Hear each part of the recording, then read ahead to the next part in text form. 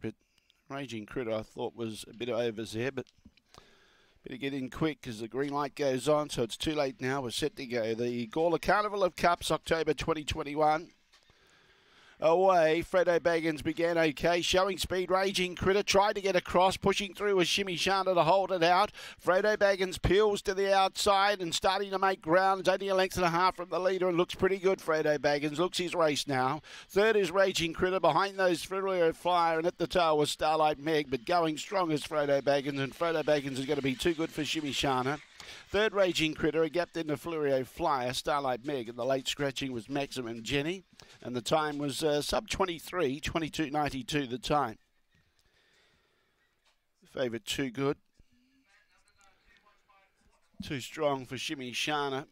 Raging Critter has run a clear third and a gap to the others. 2 1 5 and 4, 2 1 5 4. The judges' numbers 2 1 5 4, two and a half lengths the winning margin, one and three quarters between second and third, 22.92 the time. 8.72 the early split set up by Shimmy Shana, and the run home was 14.20, 14.20 the run home.